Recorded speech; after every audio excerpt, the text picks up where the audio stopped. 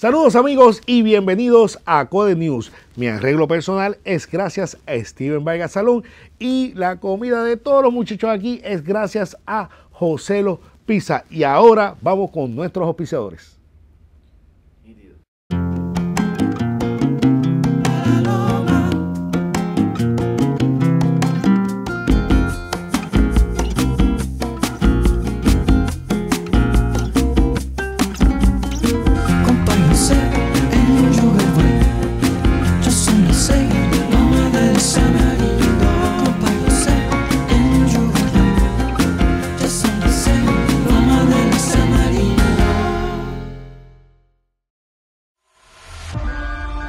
Que puedes delinear la mejor estrategia táctica es llevar a tu protegido sano y salvo a su destino. Matricúlate en EDP University. Saber es poder. Encuentra tu suerte en el Blue Dolphin Casino en el Aquarius Resorts Dorado, Puerto Rico. Descubre el entretenimiento que hay para todos. Desde el driving range, nuestras cervezas artesanales y de barril en Beerlandia, canchas de pickleball, New York Restaurant, la Rambla Tapas y Vinos y la diversión continúa en la bolera de Predator Gaming Center. Abierto a todo el público. Ven y vive la experiencia. Costa Bahía Urban Hotel en Paseo Caribe. Con una ubicación de primera en San Juan, habitaciones con vista privilegiada, nuestra terraza, gimnasio y amenidades. Ven y vive la experiencia en Costa Bahía.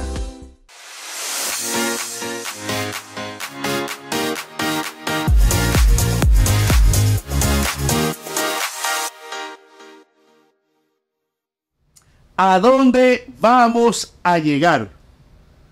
Por un lado se aprueba una ley de armas para permitirle al ciudadano decente tener herramientas para defender su vida y propiedad. Es más, hasta un superintendente de la policía nos dijo, tiren a matar. ¿Ustedes se acuerdan de eso? Él lo dijo. Sí, señor. Búsquense en las redes. ¿Quién dijo eso? Solo dijo el señor Héctor Pesquera. Dije, tiren a matar. Y por el otro lado, el Estado nos prohíbe defendernos. La pregunta es, ¿con qué? ¿Con qué tú quieres que me defienda si me estás quitando? Nos están desarmando sutilmente y violando nuestros derechos.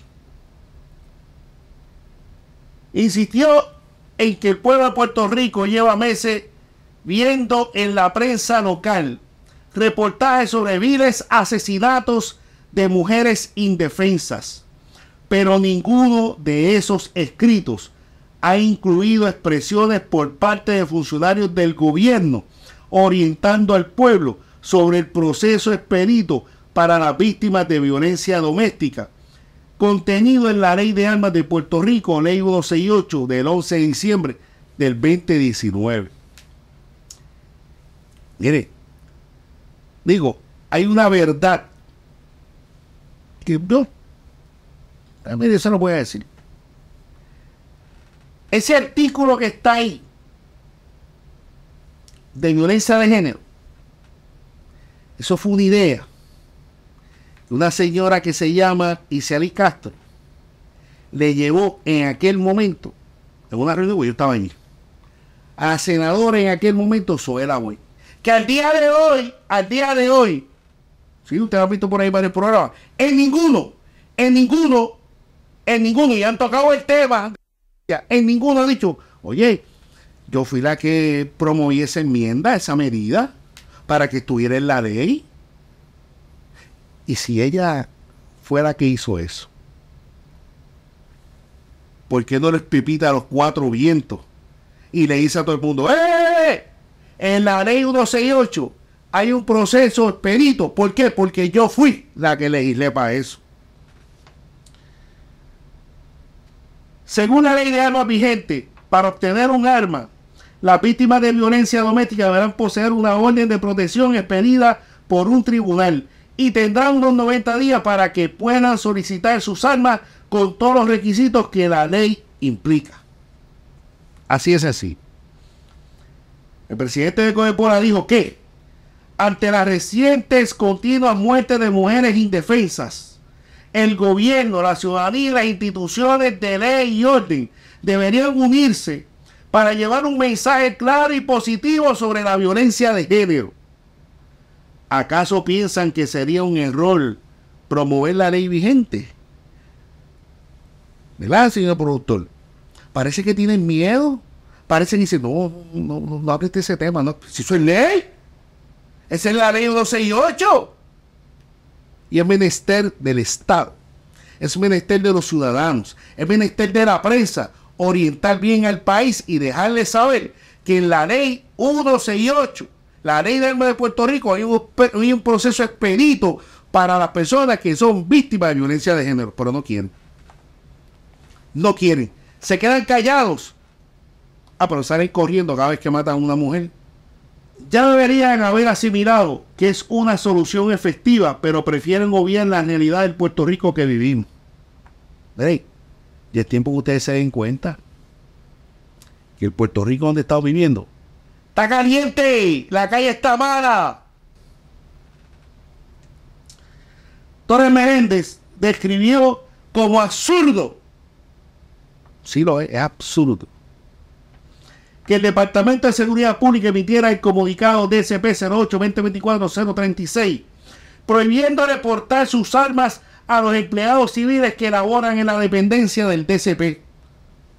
Y les advierte que tampoco las pueden dejar en su vehículo cuando esto último, y lo está citando, como un delito que no existe en la ley 168. Sí, en esa carta el DCP dice, mira, Tú no puedes dejar el arma en el carro, porque si la dejas, te voy a tener que acusar, porque eso es un delito. Y yo no sé dónde sacaron eso. De verdad que ese disparate, yo no sé dónde lo sacó. Pero el DCP dice, a lo mejor, él tiene un libro diferente a este. O hicieron una enmienda de la cual yo no me enteré. Pero hasta ahora, en este que está aquí, en este que está aquí, no dice en ninguna parte que dejar el arma de fuego en su casa, que es su propiedad, o en su vehículo, que es su propiedad, es un delito.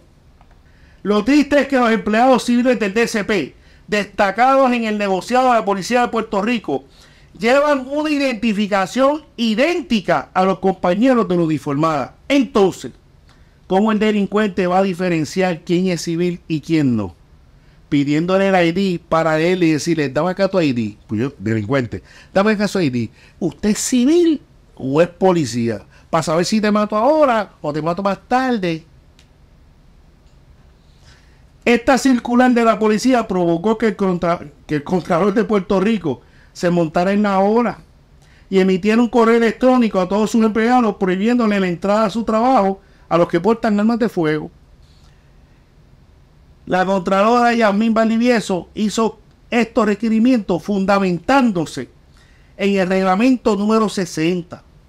La realidad es que el artículo 2.01 de la ley 168, escúchenme bien la gente del Contralor, establece que la información personal de identificación de una persona que haya solicitado o recibido una licencia de arma es de carácter privado y confidencial.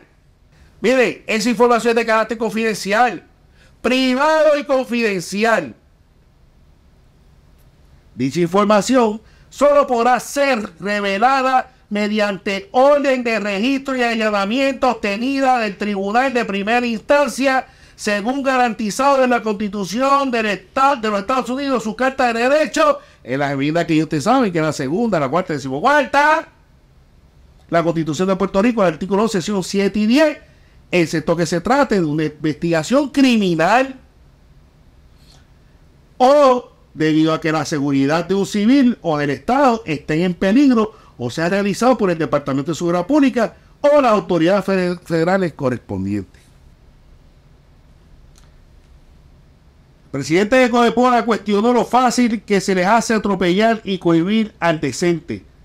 Me gustaría ver al DCP o a la Contralor pedirle esos mismos requerimientos a los delincuentes Porque esos son el problema. El problema en este país no es el decente. El problema en este país no es el que viene y saca una licencia de armas, va al cuartel general, llega una solicitud, pone la huella, pone el seguro social, pone su información donde reside, pone su teléfono, pone su fecha de nacimiento. Ese no es el problema. El problema son los delincuentes. Ese es el real problema. Torres Meléndez destacó que tanto el tráfico ilegal de armas y municiones como el tráfico ilegal de drogas es un problema que el Estado no ha podido atajar. Mucho estamos haciendo nosotros los civiles buscando mecanismos de defensa para protegernos, para que ahora venga el propio Estado a pescar en una pecera.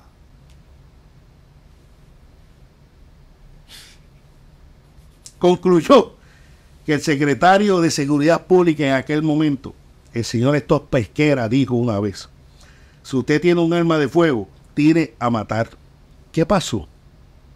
Les cogieron miedo a esas palabras y no hay coraje para validar esa premisa. Comenzamos celebrando la Semana de la Policía, pero los empleados civiles que laboran en el negocio de la Policía de Puerto Rico los desarmamos y les violamos sus derechos. Vamos por buen camino y más cuando se quieren zafar del tema. Haz el bien y no mires a quién. Mami, bendición.